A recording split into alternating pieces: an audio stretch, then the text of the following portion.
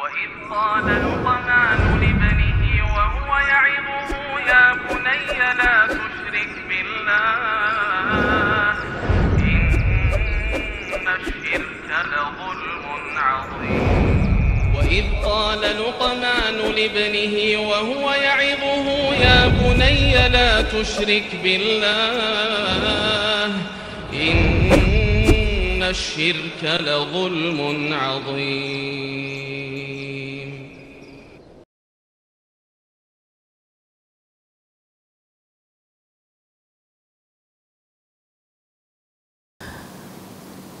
السلام عليكم ورحمة الله وبركاته. إن الحمد لله نحمده ونستعينه ونستغفره ونعوذ بالله من شرور أنفسنا وسيئات أعمالنا. من يهده الله فهو المهتد ومن يضلل فلن تجد له وليا مرشدا. أشهد أن لا إله إلا الله وحده لا شريك له وأشهد أن محمدا عبده ورسوله الذي لا نبي بعده. وقال الله سبحانه وتعالى يا أيها الذين آمنوا اتقوا الله حق تقاته ولا تموتن إلا وأنتم مسلمون وقال عز من قال يا أيها الذين آمنوا اتقوا الله وقولوا قولا سديدا يصلح لكم أعمالكم ويغفر لكم ذنوبكم. ومن يطع الله ورسوله فقد فاز فوزا عظيما. يا أيها الناس اتقوا ربكم الذي خلقكم من نفس واحدة وخلق منها زوجها وبث منهما رجالا كثيرا ونساء. واتقوا الله الذي تساءلون به والأرحام. إن الله كان عليكم رقيبا. أما بعد إن أصدق الحديث كتاب الله. وخير الهدي هدي محمد صلى الله عليه وسلم. وشر الأمور محدثاتها وكل محدثة بدعة وكل بدعة ضلالة وكل ضلالة في النار. Kaum muslimin dan kaum muslimat para pemirsa Rosat TV di mana pun anda berada Alhamdulillah kita kembali bertemu di program acara serial Fatawa seputar anak Mal maksudu bil wilayati wa ma anwa'uha Apakah yang dimaksud dengan perwalian dan apakah ada jenis-jenisnya? Baik, kita perhatikan. Al wilayatu hiya nuhudu bima yahtaju ilahil walad. Yang dikatakan wilayah yaitu wali, perwalian atau wali murid, wali anak ya. Itu adalah memenuhi kebutuhan si anak. Memenuhi hal-hal yang dibutuhkan oleh si anak min ayatin dari perhatian wal himayati wal himayati perlindungan wat tarbiyati dan pendidikan wal qiyamu bima yuslihu dan melaksanakan apa yang bermanfaat untuk si bayi. Itu yang dikatakan wali. Jadi kalau dikatakan siapa wali wali santrinya artinya yang memperhatikan santri, yang bertanggung jawab terhadap santri. Itu yang dikatakan wali si santri. Kalau wali anak, ini anak bayi ini siapa walinya? Maka dialah orang yang bertanggung jawab atas si anak. Baik buruknya dia yang bertanggung jawab. Demikian ikhwah rahimani Allah wa iyyakum. Karena dia yang bertanggung jawab berkewajiban untuk untuk memperhatikan, untuk memberikan pendidikan, untuk apalagi untuk penjagaan dan lain-lainnya. Wal wilayatu ala tifl nau'an. Wali perwalian terhadap si anak, anak kecil itu ada dua. Nau'un yuqaddamu fil ab alal um. Jenis pertama yaitu jenis di mana ayah perwalian ayah itu lebih dikedepankan ketimbang ibu. Ya. Waman fi jihatiha dan seluruh family-family si ibu, abangnya ibu, mungkin ayahnya ibu, ya. Berarti kalau untuk si bayi, abangnya ibu ini pamannya si ibu, eh, pamannya si bayi atau kakeknya si bayi. Kalau dia itu adalah orang tua si si ibu yang yang mengasuh si anak. Wahia walatul mal wan nikah. Yang pertama yaitu perwalian, arti pertanggung uh, perwalian seorang ayah yang bertanggung jawab. Perwalian seorang ayah di mana perwalian ini lebih diutamakan perwalian ayah ketimbang si ibu. perwalian dimaksud yaitu dalam masalah harta dan pernikahan. Nah, demikian ikhwah ya. Jadi kalau sudah kaitan dengan masalah harta, berkaitan dengan masalah nafkah, berkaitan dengan masalah pernikahan, maka perwalian ayah lebih dikedepankan ketimbang si ibu. Kemudian wa nau'u tuqaddimu fil um 'alal ab. Ada juga jenis perwalian wali ya ataupun eh, tadi telah kita definisikan bahwasanya yang namanya perwalian itu adalah mereka yang memenuhi kebutuhan si anak ya memenuhi kebutuhan si anak dari perhatian pendidikan dan lain-lainnya. Ada juga jenis perwalian itu di mana si ibu lebih diutamakan ketimbang si ayah Demikian ikhwah. Wahia wilayatul khidanati hidanati waridai. Da, ya seperti apa? Seperti pengasuhan dan penyusuan. Ya kalau masalahnya nanti masalah penyusuan dan pengasuhan ya mau tidak mau ibu lebih dikedepankan ketimbang ayah. Demikian. Kalau terkait dengan masalah nafkah, ibu apa ayah ya? Maka ayah lebih dikedepankan ketimbang si si ibu. Demikian ikhwah rahimani Allah wa iyyakum. Adapun pengasuhan ibu lebih dikedepankan ketimbang si si ayah. Wa qaddima kullu min abawain fi ma ja'ala min dzalika litamamil maslahatil walad dan bisa juga ada selain mereka berdua lebih dikedepankan ketika ada pertimbangan bahwasanya hal itu lebih baik bagi si anak. Demikian, ya. Tadi kan kita katakan kalau dia terkait dengan masalah pengasuhan dan penyusuan, hak ibu lebih dikedepankan ketimbang yang lainnya. Maka yang lalu telah kita pelajari bahwasanya kalaupun ada wanita lain yang harganya sama upahnya ataupun bahkan wanita lain itu lebih murah atau mungkin lebih atau mungkin free ya free free ongkir gitu kira-kira. Yang tidak ada upahnya maka si ayah nggak boleh ditarik si anak dari ibunya kemudian diberikan kepada orang yang mau menyusui anaknya secara gratis. Nggak boleh. Dia lebih berhak si ibu lebih berhak. Kalau si ayah nggak mau oh nggak bisa lah ini lebih murah maka di, pemerintah memaksa dia. Nggak.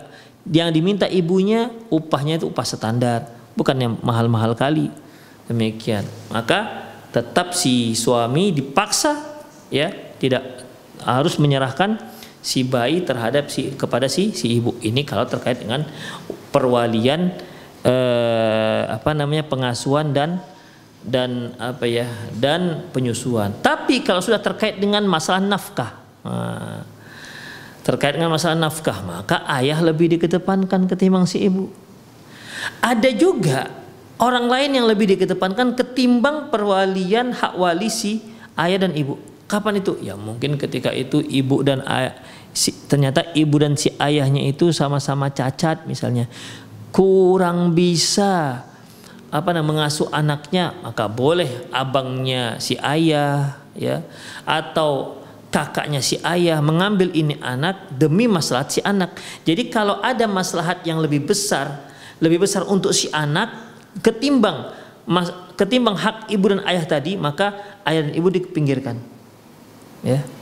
Lebih diutamakan lebih diperhatikan hak si si anak. Demikian. Misalnya lagi nih ayah dan ibu ini orang yang nggak sholat. Orang yang nggak sholat nggak ngerti agama tapi KTP-nya Islam misalnya. Ya KTP-nya Islam.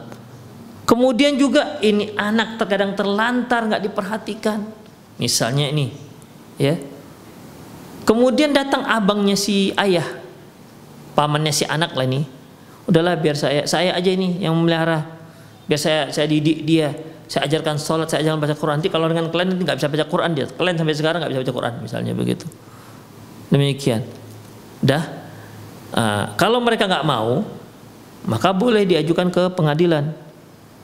Karena ikhwah kalau memang demi maslahat si anak maka maslahat si anak ini lebih dikedepankan ketimbang maslahat ibu dan ayah. Demikian ikhwah wa tawaqqafa maslahatu ala ma yali ya. Kifayah. Jadi di sini ya berarti masalah terkait dalam masalah ini ya diperhatikan yang pertama adalah maslahat si si anak. Sehingga apa namanya uh, bisa uh, bisa menghasilkan hal-hal yang bisa bermanfaat untuk bermanfaat dan cukup untuk si anak. Taib. Jadi bagaimana? Walam makanan nisa a'ruf bit tarbiyati wa aqdaru 'alaiha wa asbar wa a, wa wa wa araf wa afraq laha lidzalik quddimatil um alal ab. Karena wanita itu orang yang lebih mengerti dalam mendidik anak, lebih sanggup mendidik anak, lebih sabar dan lebih ber, lebih kasih sayang dalam mendidik seorang anak dan lebih banyak waktunya dalam mendidik, maka dia lebih dikedepankan ketimbang si ayah. Walamma kana rijalu aqwamul tahsil maslatil walad wal ihtiyati lahu fil bud'i kuddima fiha al-ab al um. Karena dia laki-laki itu lebih mampu untuk menghasilkan manfaat untuk si anak, manfaat harta misalnya ya. Atau dia yang dia yang lebih mampu menjaga kehormatan si anak. Maka dalam masalah ini si ayah, hak si ayah uh, perwalian si ayah lebih dikedepankan ketimbang si si ibu. Misalnya nih ikhwah. Ya.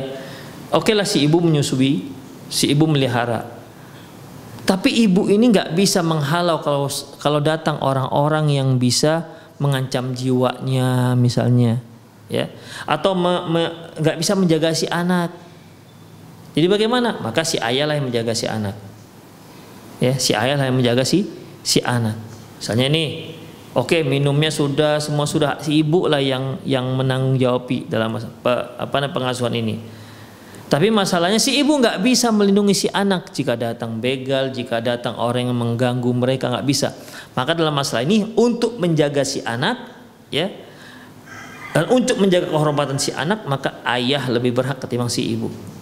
Demikian. Misalnya nih, uh, si anak misalnya dia sudah remaja lah, ya sudah remaja Masya Allah. Walaupun belum balik tapi dia sudah remaja Masya Allah. Sudah cantik banyak orang yang melirik. Kalau ketika dia berjalan banyak yang mengganggu. Maka ibu kan nggak bisa melindungi dia. Maka ayahlah turun tangan dalam masalah ini. Ya. Apa kata si ayah? Kalau begitu kalau dia keluar itu dengan aku bukan dengan kau. Kalau si, si ibu mengatakan loh ini kan aku yang ngasuh enggak dalam masalah penjagaan Islam lebih mengedepankan si si ayah ketimbang si ibu. Karena apa? Itu lebih maslahat untuk si si anak. Demikian ikhwah. Karena memang pengasuhan itu kan intinya kan untuk maslahat si anak, bukan maslahat si ibu dan si si ayah. Demikian ikhwah. Semoga bisa dipahami. Kemudian faqtaqdimul um fil khidonati min husni syariatil Islam wal ihtiyat li atfal wan nadhr lahum wa taqdimul ab fil wilayatil mal wa tazwid kadzalika kama fi zadul ma'ad. Dalam masalah ini ya mengutamakan mengutamakan ibu dalam masalah mengasuh dan mengutamakan ayah dalam masalah kebutuhan harta dan pernikahan itu merupakan salah satu dari keindahan syariat Islam. Demi untuk menjaga si anak dan peduli terhadap si si anak. Itu aturan dalam Islam. Demikian ikhwah rahimani Allah wa iyyakum. Ya jadi uh, yang dimaksud dengan perwalian di sini ya ada beberapa jenis dia. Ya ada beberapa jenis Ingat yang dikatakan perwalian adalah al-wilayah adalah yaitu memenuhi kebutuhan apa saja yang dibutuhi oleh si anak, baik perhatian, perlindungan, pendidikan dan apa saja yang bermaslahat untuk si si anak ya. Hanya saja hak-hak ini ada yang sebagian ada ibu yang lebih piawai untuk mengurusnya sebagian lagi ada ayah yang lebih piawai untuk mengurusnya. Demikian. Seperti yang telah kita bahas. Kalau masalah mengasuh, lebih sabar, lebih apa namanya lebih perhatian terhadap si anak itu mau nggak mau ibu, ya kan? Ibu. Maka ibu lebih dikedepankan. Itu dia. Ayah kan nggak begitu dalam masalah dalam masalah pengasuhannya. Tapi kalau sudah terkait dengan masalah harta, kebutuhan harta, pernikahan, menjaga si anak dari gangguan-gangguan yang lain, orang lain yang jahat, ya maka itu adalah hak si si ayah. Maka ayahlah yang berkewajiban untuk melakukan hal itu. Demikian ikhwah rahimani Allah wa iyyakum. Dan ini hanya bisa dilakukan dan ini pemilihan ini hanya terjadi di saat suami istri sudah bercerai. Kalau mereka belum bercerai ya nggak ada masalah karena mereka masih satu rumah. Ya, karena mereka masih satu rumah. Demikian ikhwah rahimani Allah. Demikian yang disebutkan oleh Imam Ibnu Qayyim dalam kitab Zadul Ma'ad.